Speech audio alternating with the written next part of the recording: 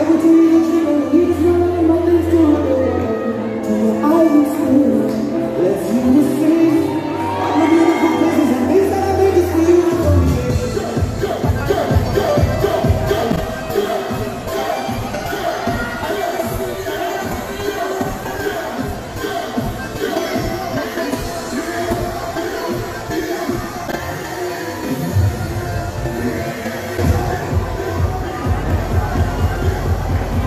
Rosan Di Villar, 21 years old, representing Barangay Pagasa!